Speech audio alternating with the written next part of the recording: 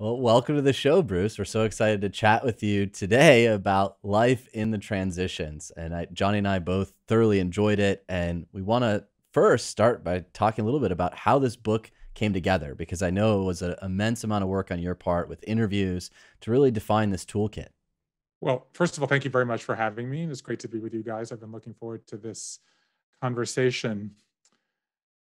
You know, this is one of those stories that that on the one hand feels like it's been changed by the ending, like that this book came out in the middle of the pandemic at this moment when the entire planet is in a life quake.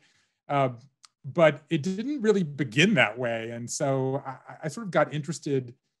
Since you asked how it began, I'll tell that story because it, I got interested in life quakes, what I call now life quakes, because I went through one uh, myself, right? And I think back on my life now I think of it as having a kind of traditional linear path. I grew up in Savannah, Georgia.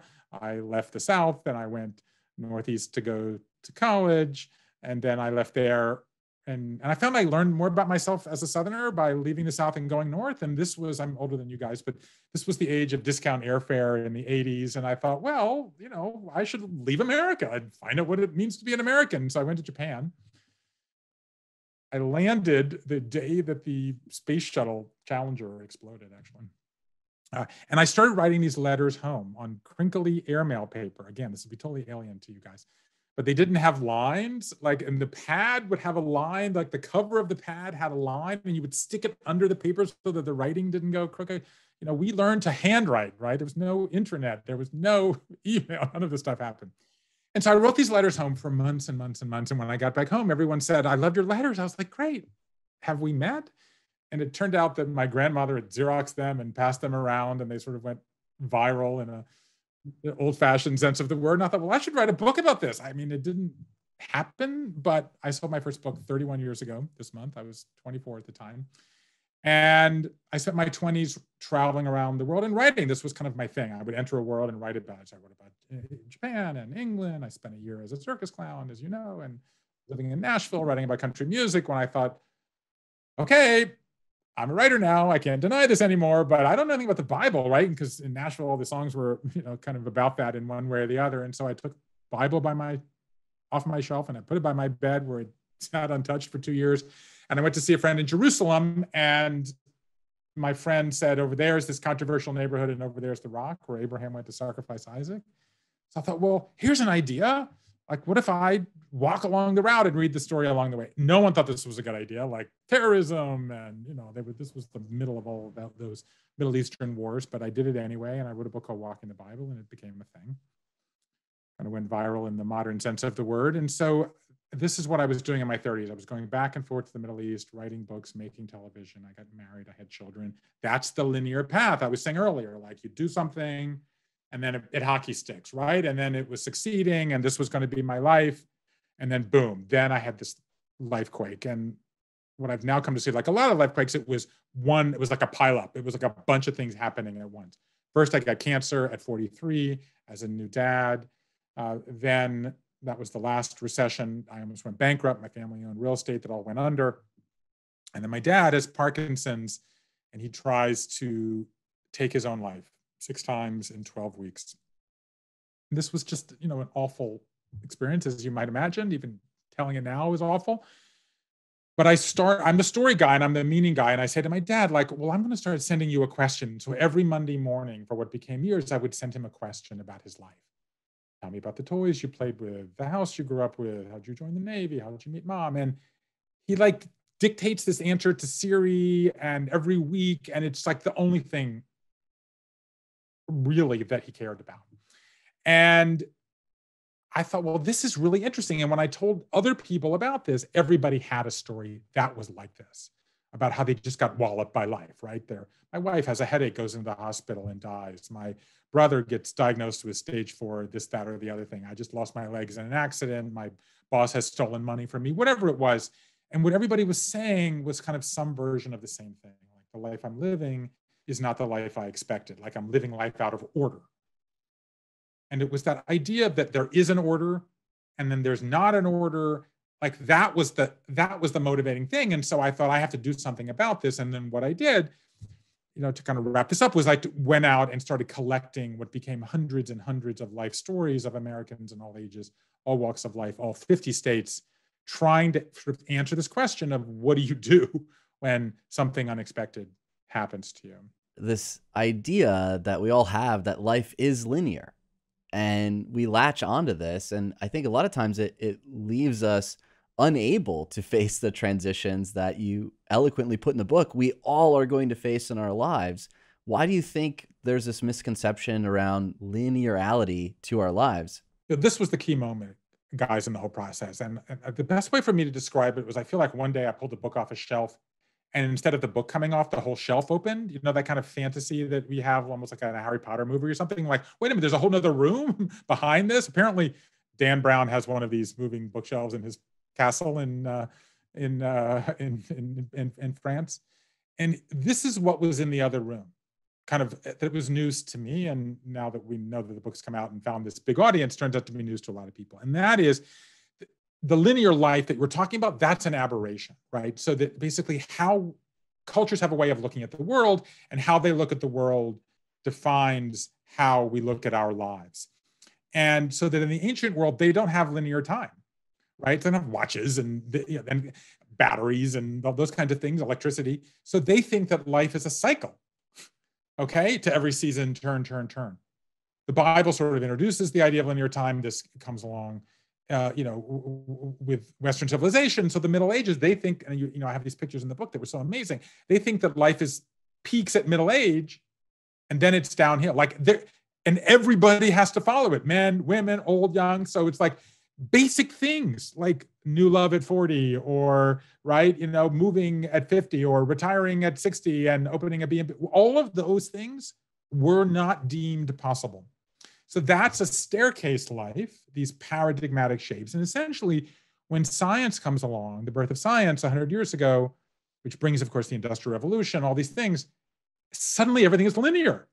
And why is it linear? Actually for no more profound reason than like Ford and because of the conveyor belt and because factories things were done in a linear way. So everybody's so Freud, there Piaget, there are development stages for children. Freud, psych- psychosexual stages. Erikson, the eight stages of moral development. Erikson says he models his on the conveyor belt, right? The five stages of Greek, the hero's uh, grief, the hero's journey. These are all these linear constructs, and this reaches its peak in you know what for you guys will be ancient history, but the 1970s Gail Sheehy writes this book called Passages, which says everyone does the same thing in their 20s, the same thing in their 30s, and then everyone has a midlife crisis at 39 and a half. And you, you can't overestimate how powerful that idea was. That book sold 20 million copies. And it, it sort of suddenly it was law that you had to have a midlife crisis. So now let's just, again, let's just take the proof text of the pandemic. If you're between 39 and 44, you're having a midlife crisis. But if you're 27, you're also having a crisis. And if you're 67, or like my children, 15 and a half. So the point is that these tumultuous episodes in our life have nothing to do with birthdays that end in zero, have nothing to do with this linear. They happen when some people are born. I mean, if I spent the next 10 minutes asking you questions instead of the other way around, I would find out that, you know, one of you may have had you know maybe one of maybe your parents one of your parents was divorced. That, that would be mathematically possible. Maybe someone has a drinking problem. Maybe someone lost a job and you had to move. Like you know maybe you lost a parent right? Maybe you lost a job. Maybe you left a job to then start a podcast. So these are events of some voluntary some involuntary that happen. I, that's why i call it the whenever life crisis because they happen just whenever. And uh, sometimes along with other people. We're all going through one together now but often separate and the point is, they come more often. So the kind of the big idea of this book is we're going to have one every 12 to 18 months, one of these disruptors. And most of them we get through, but one in 10 will be will be bigger, higher on the Richter scale of consequences. That's why I call it a life quake. And that takes many years to get through. And the way you get through it is um, the tools, the steps, the phases of a life transition that becomes the backbone of this book there's a lot to unpack there. So I, am going to just go ahead and start asking let's some go, questions. Let's, let's go through the dirty laundry. um, well, one of the things that stuck out to me was this this need or want or desire to see the world to figure out who you were And that is just not something that I see that is prevalent in American culture. So were you a reader that was it was it some what sparked you at a young age that forced you out in the world? Because you see that in Europe. In Europe, it is encouraged to go to different countries and travel, take time off of school, but not in America. And so I that was first one thing that stuck out to me, but also it is it is that idea of traveling, seeing the world, finding out who you are that is going to put together all of these pieces that become tools about how you deal with life quakes. So, what was it at an early age that forced you out to see the world in that manner? So that's such an interesting question, and I've spent a lot of, and, and, in a lot of ways, I'm not the right person to answer that um, because it's my life. But um, since you asked me, uh, I think a couple of things happened for me. Um, number one, uh, I grew up in a very, I'm very place oriented. So I grew up in Savannah, Georgia. I don't know if you've been to Savannah. You certainly have seen yes. movies made in Savannah. Um, you know, Savannah is a 80% of the buildings. Savannah was was preserved by when um, when Sherman burned Atlanta and marched to the sea uh, the Savannahans actually fled. This is not a story they like to tell, but uh, so therefore Savannah was not burned, and the and then a century later, the historic preservation movement began in Savannah. So like 80% of the buildings standing in 1800 are still standing today, and so it's very steeped. It was very isolating. It was very steeped in place and culture and history and a kind of bit of kind of self mythologizing romance, of course. Um, but so I'm very place oriented and um, cut to, as I said earlier, I grew up in the age of discount airfare, where certain where suddenly travel was possible. And so, since I actually like to learn from place first, so to speak, um, I uh, I like the idea of going to places as a way to learn. That's B one. B two is I grew up Jewish in the South. Okay, so you know, I love the South. I love the stickiness. I love the storytellingness, the familyness. But I grew up Jewish in the South, which meant I was sort of a part of it, part of it, but apart from it at the same time. I also like being Jewish, right? And I like the familyness and the stickiness and the storytellingness. But I grew up Jewish in the South, which is not only different from the history of Judaism, but also from the history of Judaism in America. So I feel a part of it and apart from it. So I think of myself as kind of two things. Um, one is I'm an experientialist, so I like to go places and experience things, becoming a part of it. But I'm also an explainaholic, uh, which is actually an Isaac Asimov phrase for himself, long before being um, whatever the what, what a mansplaining has now been a bad thing. But I'm an explainaholic, so I like going to a place and then coming back and explaining it. So like I'm in Japan, I write these letters, like that's kind of fundamentally who I am. And then because I like I like um, made up words about myself. I have become a life historian, and so I think that what what is appealing to me about the life storying thing was that I like talking to people, right? And so what I think about this book is like, in some ways, I did the most old-fashioned thing imaginable. I went and talked to people. Like Studs Terkel was doing this in the 70s. But I also did it in a newfangled way, which is then I did this data analytics. So then I had a thousand hours of interviews and 6,000 pages of transcripts. And so with this team of people, we spent a year coding it, trying to um, tease out themes and patterns and takeaways. So again, that's really me in a nutshell, like a foot in the old in the ancient world or a foot in the old fashioned and a foot in the contemporary. That really, I think that really captures me pretty well. It, yeah, that sets up a lot of nice things. I, and I, I wanted to also add, we were talking about how a lot of people we would view life as this linear uh, way. And then you had brought up a bunch of, of points that you felt contributed to why we think in that way. And I think one of the things that was missing there was um, where civilization got to a point where everyone was able to collect wealth. And so when you're collecting wealth, you just want to keep stacking it, right? It just keeps getting high. So once again, we're looking at something that inevitably just continues to grow. Life isn't like that. And because we're we're going to be faced with trauma and loss, that's just the natural part of it. And of course, when you're collecting wealth, no one wants to see that go away. You want to just keep collecting it. So I think that lends itself to a, a skewed look at, at life. Now, um, the one of the quotes in your book that we absolutely loved, and it's about your default reaction to crisis. And when in turmoil, turn to narrative. And being a, a life story. Oh my God, course, read the next line. The next line is the killer. read the next line. That's the killer line. Well, let's read it all, the, the full thing then. When in turmoil, turn the narrative. The proper response to a setback is a story. There's your line. There's the money line.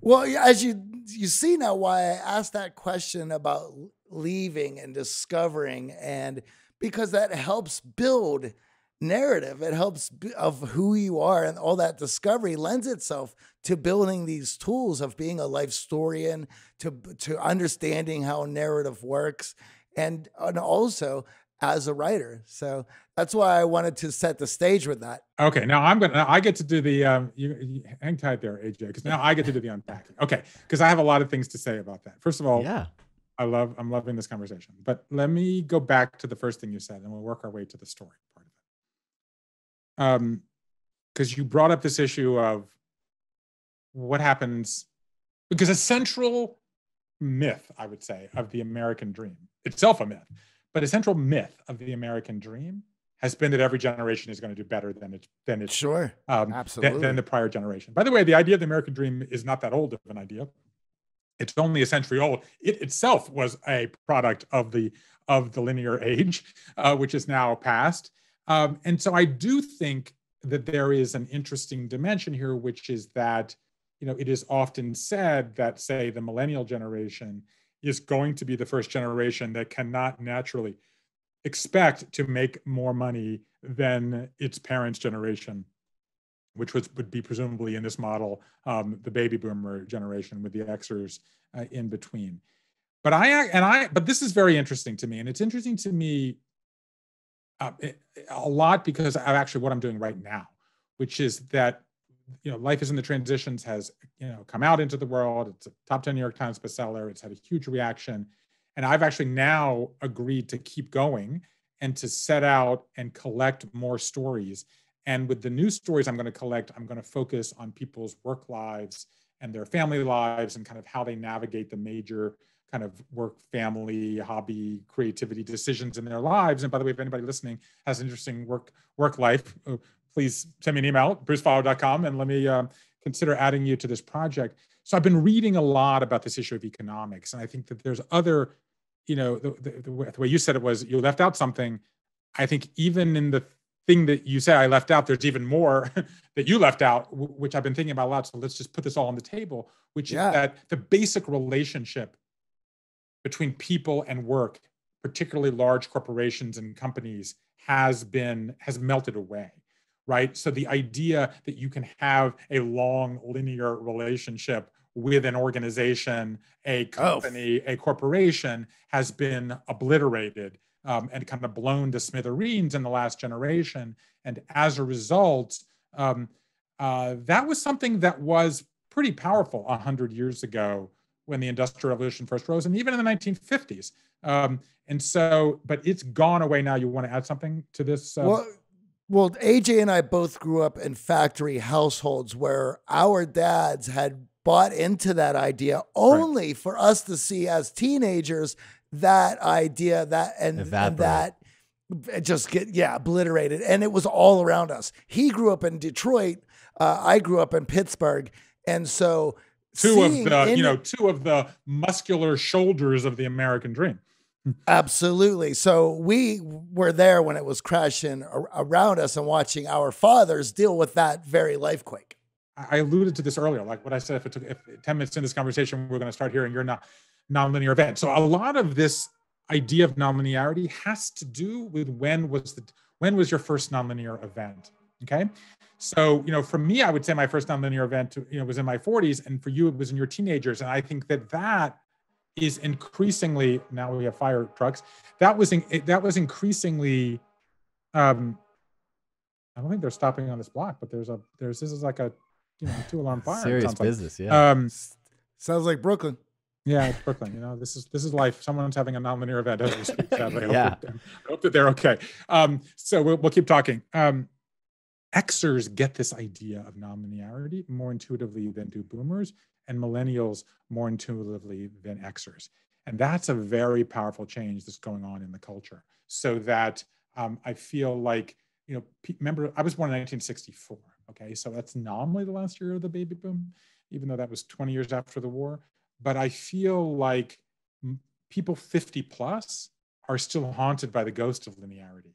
So I think that for your generation, it sounds like for you individually, you already didn't have that. So you're already more insecure on the one hand, more open to change. But you know, people react differently. Some people react to that kind of instability by saying, "I want a job and I want, want you know, I want to go into the most stable thing. I want to go into, I don't know, medicine or academia or something that's stable because I don't want to happen to me. There's a bunch of stories in my book. That that story of Jamie Levine and about chapter four, who, you know, he grew up in in Worcester, Mass, right, which is the shoe capital of the world, and also kind of a blue collar, shouldery town like Detroit and Pittsburgh. And his father also lost his job, and he's like, I'm never going to have this. And he rose to become a partner at Goldman Sachs you, which you would think would be captain of the universe and then his daughter is basically born without a kidney and you know his life cr- comes crumbling down in his marriage and everything has to be rebuilt and reimagined but, but he was determined not to have the financial uh, insecurity uh, that he saw his dad suffered through. So i think that that is an important thing that i think then gets us toward the second part of your question which is how do we construct our identity given these nonlinear events? Okay and come so what i want to say is that your impulse to tell in this conversation that this happened to me when i was a teenager and this happens to aj when i'm a teenager that imp what that is a way into is to understand that we all have this story that's kind of going along at all times in the back of our heads. The story of where we came from and where we're going and what's important to us, right? If, if, if that fire truck that just passed us here was going downstairs in my house or, I had to then get a call and rush and go see someone in the hospital that I love, you're going to be telling a story about that person like who, who are they how do they mean to this what, what do they mean to you okay i was just watching this meme on the internet of Mr. Rogers when he won a lifetime uh, Emmy award, saying spend 10 seconds thinking about the most someone who's sacrificed in order to get you where you are. It's not hard for anybody listening to us to take a second and conjure up somebody, a teacher, a parent, a counselor, a coach, a religious leader, you know, a, a neighbor who affected them. That is the story of who you are. And we know now that that story is not just part of you, that story is you in a fundamental way. Like life is the story that you tell yourself. And what we're talking about in this conversation is what happens when that story gets disrupted or interrupted or blown up uh, in some way.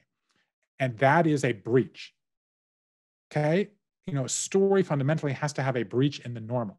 Otherwise, there's no reason to tell the story. Everybody goes off every day and lives their life. And let's just say you have a loved one or partner, a friend, a parent, or you know, a, a- a spouse. You come at the end of the day, you don't narrate all eight hours of what happened in the intervening time since you saw them. You pick the highlights, and the highlights are usually when when something abnormal happens. Something good may have happened, something bad may have happened. You may have gotten, you know, you may have won the lottery, you may have had a flat tire. You're going to talk about the breaches in the normal. And what the story does is it helps repair the breach. And so it turns out, though I wasn't aware of it at the time, that turns out to be a kind of a big backbone of contemporary psychology. And what this book about it, the book is about in a fundamental way, is what are the tools that allows each of us to repra- repa- repair a breach in our narrative? Because guess what? The breaches, or as I like to call them, the wolves in their fairy tales, the breaches, the wolves, the ogres, the downsizing, the tornadoes, the pandemics, they're coming at us at a much faster pace that they did um, when your when your parents just lost their jobs, or you know, I was growing up even two decades before that.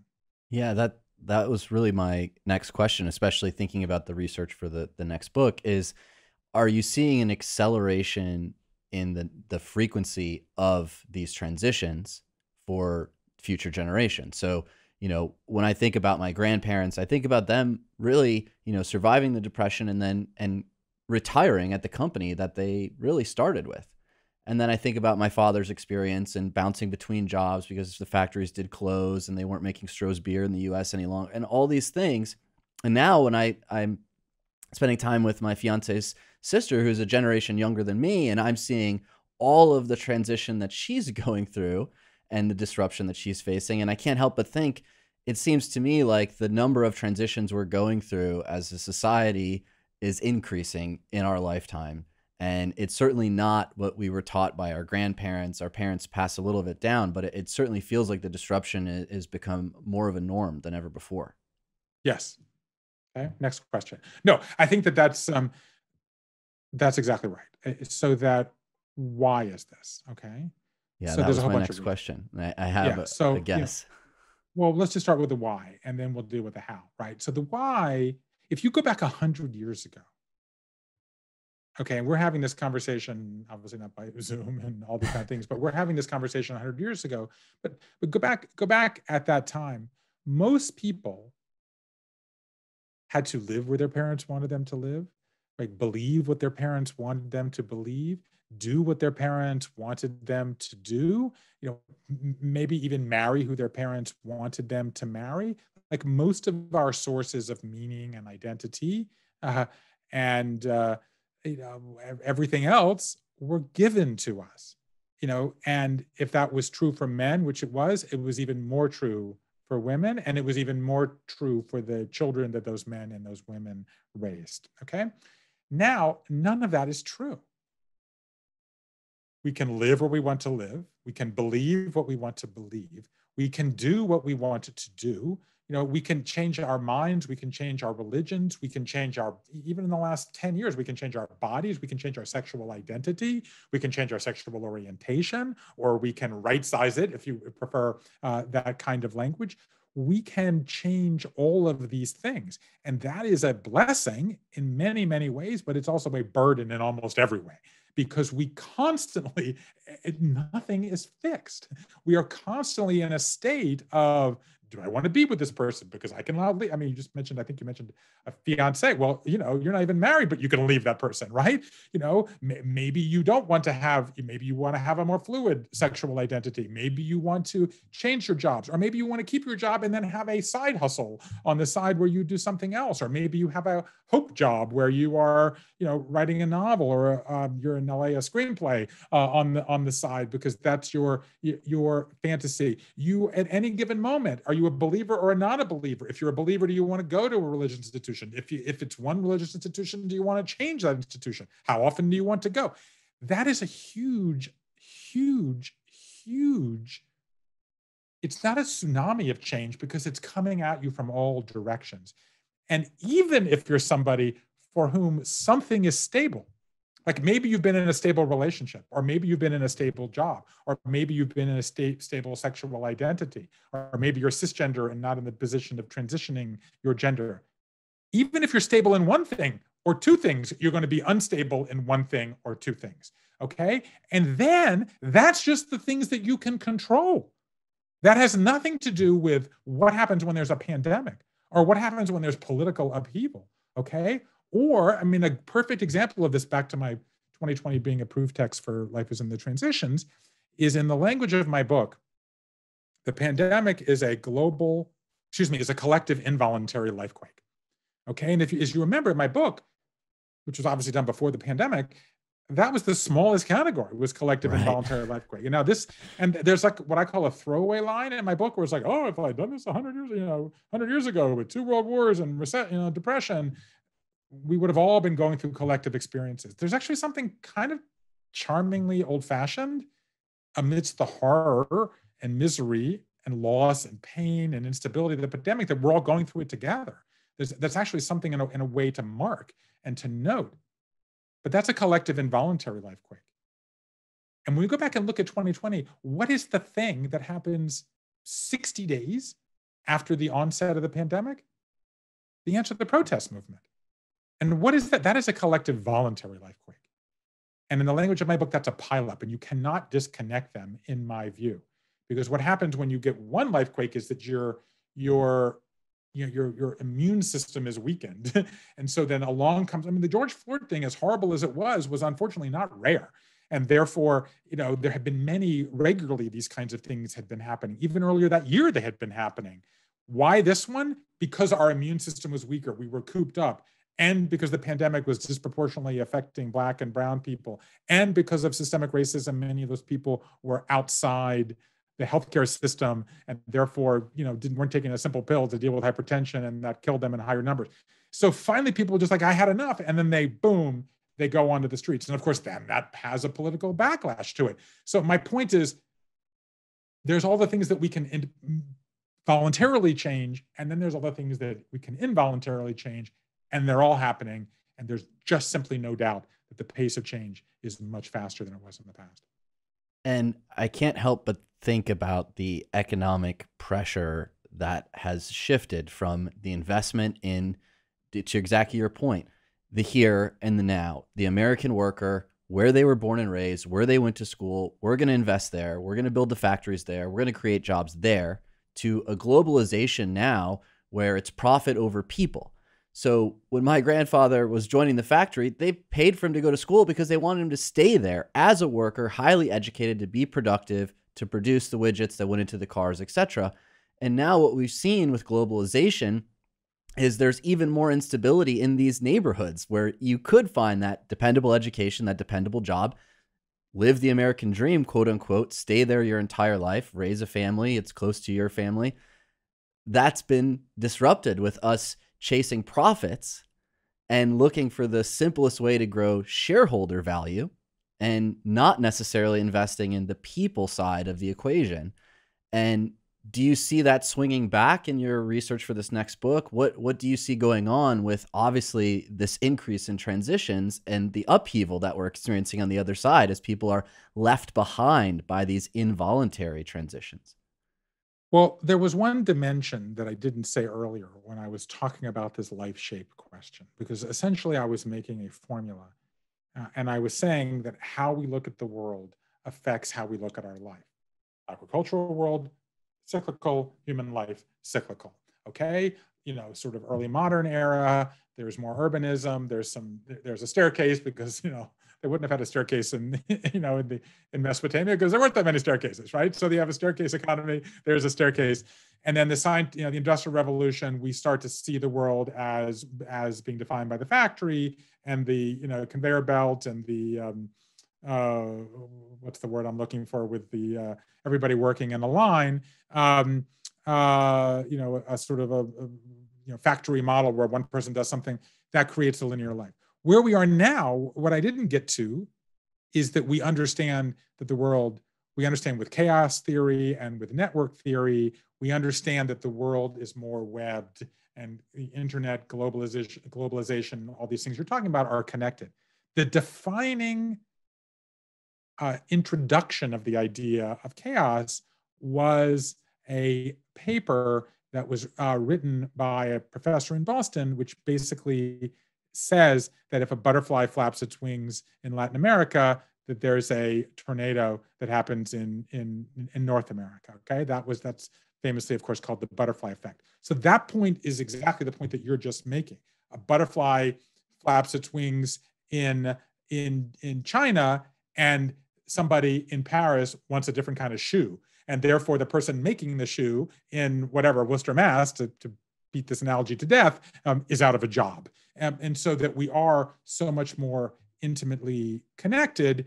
And you're absolutely right that in the 1970s, when the sort of cult of shareholder value cut, cuts in, that universities, um, I mean, that, that corporations no longer felt any obligation to their, or they felt less of an obligation to their team members than they do to um, uh, to their shareholders, and that that's created downsizing, right sizing, you know, all these all these kinds of things. Okay, what's interesting is that we are in a moment right now where that's being blown up by the pandemic because work from home uh, is, I think, going to create a huge amount of change, um, if for no other reason that men more men are working from home, more men are interested in flex time, and the kind of core issue, which is that which is that moms have been disproportionately women and moms have been disproportionately burdened by uh, inflexibility in the corporation. Guess what? Now dads are dealing with it because they're home too. So I actually think that there's a huge change that's going on because you have more women in the workplace. Three quarters of women now working outside the home, but you also have more dads in the parenting space. And as a result, the membranes that used to divide work from family are becoming more porous. And frankly, the pandemic has just blown those to smithereens. So I think that there is going to be a moment of reimagining. I think that the a, a positive, but there's a positive frame to this. Um, uh, like all things, there's pros and cons to this story. And the, and the the pro, so I'm not totally kind of just downer here, is that there is more opportunity to write your own work, family, life story than there ever was before. Okay. Because if the core relationship that we've been talking about off and on here, the corporation is going to provide for you, you just have to sacrifice yourself to the corporation. Well, guess what? The corporation no longer feels beholden to you, so you don't have to feel beholden to it. And as a result, it allows people to ask a lot of questions um, that have to do with what do I do in these in, in, the nodes of the network? What do I do in these moments of instability, uh, the life quakes, you know, the work quakes, if you will? What do I do in these moments? Do I want to stay where I am? Do I want to leave and do something else? Do I want to start a side hustle? Do I want to start a podcast, you know, or make a movie in my backyard? That there are other ways to do it, and that increasingly that is done in consultation with the others in your family. So, what does my partner want to do? Okay. Well, maybe my partner needs to go back to school. Okay. So, my partner needs to go back to school. So, therefore, I need to spend more time focusing on income right now. And then, okay, my partner will be out and that, and then my partner will have a job. And then maybe I can focus more on myself.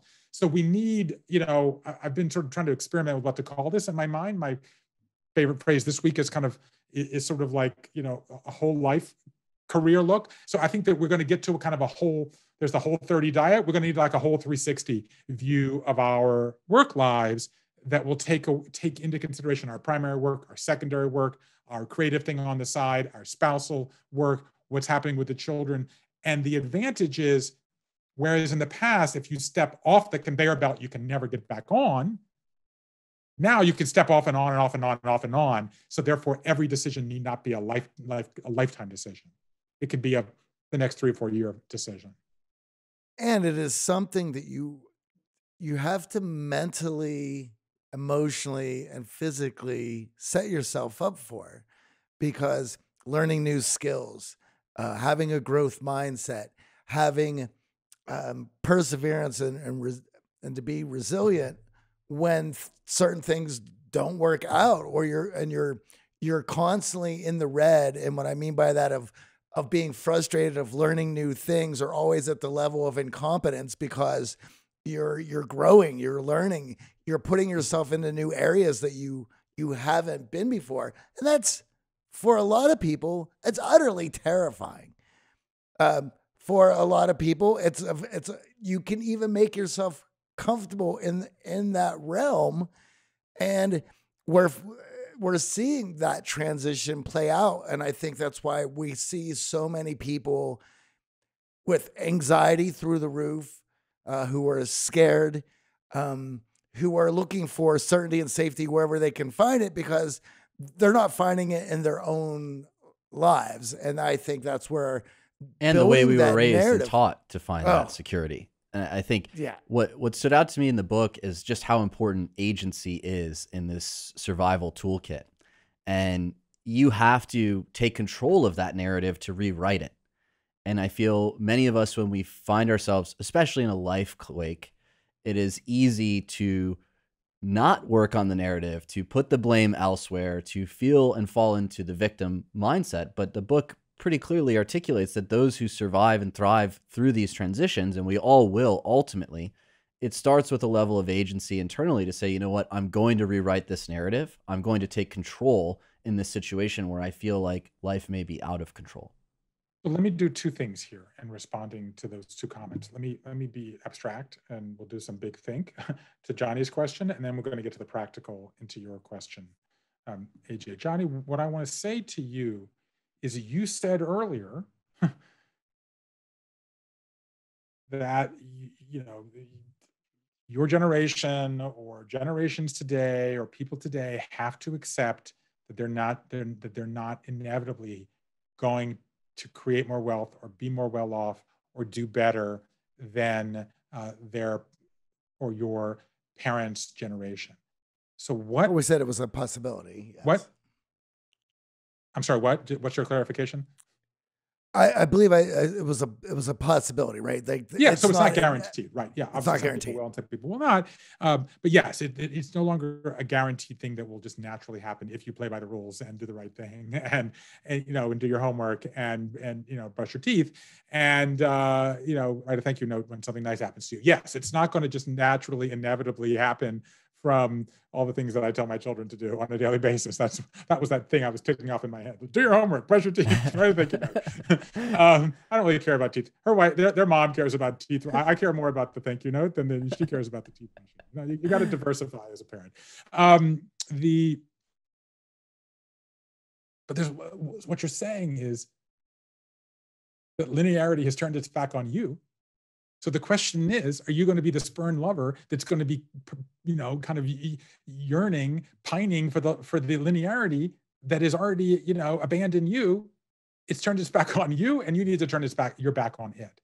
Okay, so that's that that's that's part of of what uh, I'm saying is that we are still haunted by the ghost of linearity, but linearity is not how the world works. And so we have to kind of grow up and realize that we're looking for something that's not there. And we grew up in other areas of our life. And this is just not an area of life that we spend a lot of time talking about, which is what is the shape of your life, right? What is, what can you expect out of life? There was an interesting moment when we were coding this and in which I, I had all these millennial coders and we were we were dealing with this piece of data in front of us which is that 53% of people's life quakes were involuntary. Okay so an involuntary life quake is a downsizing your spouse cheats on you you get a diagnosis your house burns down. Okay 53% that means 47% were voluntary. So voluntary is you leave an organization to start a new enterprise. You cheat on your spouse. You change your religion uh, whatever it might be okay? And so i looked at this and i was like dang, like 47% of life quakes are voluntary. Like, you know, like fucking, hey, man, like we're getting it. We are embracing the full opportunity of the nonlinear life. We are seeing something about our life we don't like. And instead of just whining into our beer, we're actually agentically, AJ, we're going off and doing something about this. The kids on my team, I call them kids, but you know, the 20 somethings on my team were like, whoa, 53% are involuntary. Like, I can't control my life. Yeah, you can't control your life you can therefore if there's something you control like one of my life mottos is control what you can control because there's a lot of things that you can't control okay? So that gets to so that's my big thing. But now let's just get to the practical because we've been very kind of high-minded here. And let me talk about what do you do when you're in this moment because everybody listening to us is in this moment in one way or the other. There's been this okay the first thing that we talked about the first answer i gave is how this book has been this project that I worked on for half a decade has some way been shaped by arriving in the middle of the pandemic. Okay. And so nothing has been, I don't know, disproven by this. Uh, if anything, every uh, all the ideas on how to navigate a life transition to me have been reinforced by this. Even such a, a simple thing like creativity. People use creativity, right? What's the first thing everybody did when we got into the pandemic? They started to bake right? Remember that was like the number one cliche. Like we're gonna sourdough our way through this. Like I may have been the only person in America who was not shocked by this because what that is is a little act of creativity, a little act of imagining of rather than sitting around or being scared or whining or being in a fetal position under the blanket, I'm gonna do something today. I'm gonna imagine that I can put my hands in some flour and starter and and baking soda, salt, and butter or whatever it is, and then there's gonna be something to eat at the end of the day. And that little act of being able to imagine rebuilding you know, a meal, a loaf of bread, a cupcake is what allows me to imagine that I'm going to be able to get through this. And it's these little acts of creativity that help us recreate ourselves. but some ideas have become stronger. And there's an idea in my book that I liked, but that has become a kind of a big, a big flashing kind of, I don't know, green light in the middle of the pandemic. And that idea is addresses your point, AJ. And that is that the life quake can be voluntary or involuntary. But the life transition must be voluntary. You have to choose to lean in and go through the steps. Okay. And so now there tend to be two types of people when they get hit by a life quake. Some people make a 217 item to do list and are like, I'm going to do it this weekend and I'm going to be the gold medal and I'm going to be the greatest person who ever, you know, got over, you know, uh, being fired or whatever it might be. And other people, which is kind of more people, but other people, um, one of my favorite lines is there's two types of people in the world people who divide the world into two types of people and people who don't um, anyway, so the other type of people are people who are like, I'm in quicksand, I'm in a fetal position, I'm never going to get through this. Okay. I'm here to say, kind of like both of you are wrong, right? Because if you look at enough of these, there are certain patterns. So life transitions have three phases. Okay. You know, there's the long goodbye where you are kind of saying goodbye and mourning the you that's not coming back. There's the messy middle where you're shedding habits and back to creativity, creating new ones. And there are these new beginnings. And you know this, of course, because it's the backbone of my book. But I, I'm bringing that up to say even learning that is incredibly reassuring because everybody turns out to be good at one phase and bad at another. So that list maker, the 217 item to do list, and if I had to guess, probably one of you falls into that category. Um, that person is okay, okay. Johnny is taking himself out of consideration. I don't know about you, um, AJ, um, but that person's good at the messy middle because they're going to to do your, you're going to have, this is what I'm going to shed and this is what I'm going to create. I'm going to get through it. That person is probably less good at confronting the emotion because that person is probably in denial that this is an emotional experience and that they're feeling fear or sadness or shame, which are the top emotions people feel. Ironically, the person in a fetal position is probably good at dealing with the emotion. They're probably good at the long goodbye because they are feeling the weight of the emotional um, exercise, heavy lifting that's going to have to be done to say goodbye to the past. Um, and then when they get to the messy middle, you know, it's going to be different for them. So the point is, everybody, and, and, and I'm all fine for that. I mean, the, the, one of the things that makes me grumpy about the, the way people used to talk about life transitions you know, as you know, there hasn't really been a major book on this in 40 years, is it was like you have to go through these steps in order. First, you have to say goodbye, and then you have to be in the betwixt and between, and then you have to. That's just bullshit. That's just not how people live. And um, because you say goodbye, and then you go to the new beginning, and then you forgot something, and you know, there's something in the old room. You got to go back there, and you know, or again, this is not your generation, but if you are if you are divorced and you're raising children, even if you're remarried, you're still parenting with the old, you know, the old partner. There, these things are done in an everybody does them in an idiosyncratic fingerprint, their own fingerprint kind of way.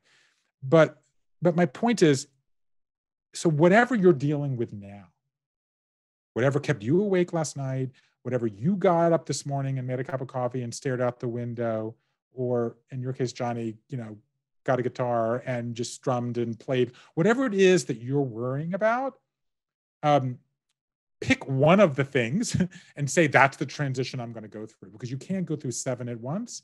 So pick one, pick a phase you're good at, start there, let's build some confidence. And kind of my main message here is that life gets you stuck and a transition is what gets you unstuck. And there are tools, there are phases, there are things you can do to make it go more effectively. And I think that example of the the baking we all resonated with because there is an end the bread comes out of the oven. We know that there's a payoff at the end and, and we have it timed out. And for many of us, when the pandemic hit and it felt like this is just dragging on and we have no idea when it's going to end, and that uncertainty led us to acts of certainty, even in our creativity, taking up yes, baking, learning so well something. Yes. And the the book highlights that there is certainty in all of these phases. We just may not see it in the moment. So you are going to go through these phases and, and that goodbye is going to end and the messy middle is going to start and it's also going to end and you will make your way through.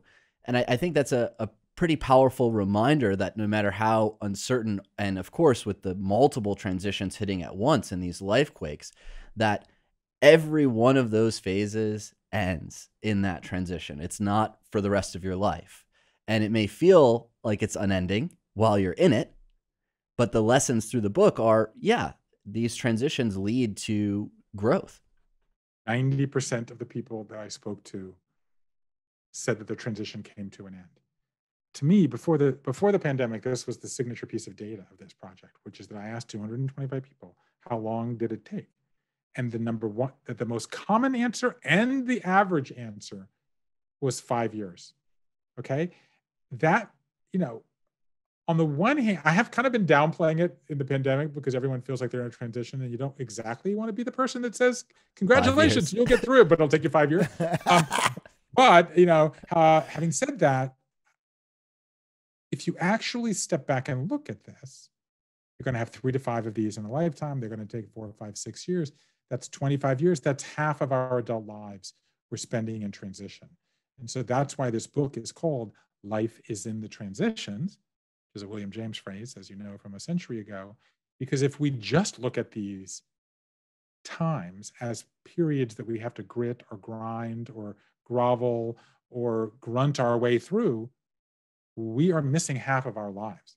Okay. And you can look at the great stories from scripture Abraham leaving his father's house, the Israelites going into the desert, Jesus going out to the you know, go, going into the desert, Paul on the road to Damascus, the Buddha going out, you know, Muhammad going out and back and forth between Mecca and Medina. They all have these periods. If you look at the great myths, Odysseus, Orpheus, Jason, Hercules, these all have these periods, the same novels. There's a reason these stories are still told thousands of years later. And it's the same thing with the fairy tales. Okay. We all want to be, let's go back to the fairy tale thing, because because that was what we were talking about earlier with the storytelling because it's so important to me. We want to be the hero, we want the happy ending, but we don't want the wolf. We don't want to go through the woods. okay? And but we know the wolf is going to appear. And it could be an ogre it could be a dragon as i said earlier. It could be a tornado a pandemic a downsizing. And you can't banish the wolf because if you banish the wolf you banish the hero. And if there's one thing i learned is that we all want to be and need to be the hero of our own story. That's what this is about. When you end up in the woods, you're the hero. I remember reading a, I remember reading A Wrinkle in Time to my 10 year olds. And I don't know if you remember the part of this that's important to me, which is that the father, I'm the dad, I'm the dad reading this. Okay. The dad is disappears. The dad is, you know, multiple uh, whatever planets or realms away. And the girl Meg goes after, you know, bouncing from place to place. And then she finally gets to the dad. And I and I remember this. Like I, I had never I'd never read this book as a kid. One of the pleasures of having daughters was I got to read the canon of girl lit um, that I had never read. Like Girls in Brooklyn, like the closest thing to a perfect book I've ever read. Um, anyway, I don't even know what's going to happen in the story. And I remember closing the book, whatever it was, half an hour past bedtime, and saying, What's going to happen now? Girls, what is going to happen now in the story? Who's going to save the day? And of course, what are they going to say? Because they're 10 year old girls. They're 15, they don't say the same word. Like, the dad's going to save the day. No, the dad is not going to save the day. She's going to save the day. That's why we're reading this book 50 years later. The only reason, and I don't even know what's going to happen, but I know that she is going to have to do it. She wants the dad to save her, but she's going to have to do it. That's your agency. Okay. You're going to have to rewrite the story. You're going to have to be the hero of your own story. I love that. And it's such a great way to finish this wonderful chat. I know that many of us going through this involuntary transition that has created a life quake in all of our lives uh, need to be reminded of that exact thing that we will get through it. And part of that narrative is you taking the agency and crafting it in a meaningful way for yourself personally to get through it. And it's going to be different for every one of us, but the themes in the book and the the fact that data was involved, it's not just one or two stories, but looking across 50 states and with all these interviews, the patterns are the same. And if we can master the patterns, we can get through a life in transition. We can get through this together. And sort of my promise to you is whatever you're going through, you come on this journey with me and meet these people, you're, you're going to get hope for sure, but you're going to get actually practical things you can do tonight or next week, the week after, uh, to make whatever transition you're in go a little bit better and a lot more effectively. We can we can beat bull, we can beat back the wolves together, everybody. Well, we love ending our episode with a challenge for the audience, something practical that they can do in the next week to make a difference, to make a change or an improvement. And I know the book has multiple opportunities for that. Is there one challenge that stands out for you, for our audience, that would be beneficial as they experience this transition? Oh, well, I'll double down. I'll go with two one backward looking and one forward. So, number one would be to ask yourself, what's the biggest emotion you're struggling with right now? Think about it, articulate it, tell somebody about it, write it down if that's helpful to you, but accept that this is an emotional experience and don't try to hide from that. And because we're talking about it, then think of something. So that's sort of like part of the, the long goodbye. But then part of the messy middle and part of creating the new you is to pick something. Maybe, maybe the challenge, I'll, I'll be specific about it. Pick something that you used to love doing. Okay, maybe it's playing music, maybe it's tap dancing, okay, you know, maybe it's baking, maybe it's singing, maybe it's, you know, whatever it is, something that you, some part of your personality that you stuck away in the back of the closet push away the dirty laundry, pull up the old shoes, you know, open the cardboard box, and whatever is in that cardboard box, play with that for a while. I that'll love help that. you. That'll help whatever whatever you're going to make that comes out of that box is going to help you make yourself anew. Thank you so much for joining us, Bruce. Fantastic conversation and a wonderful book. My pleasure. See you guys down the road. Thank you.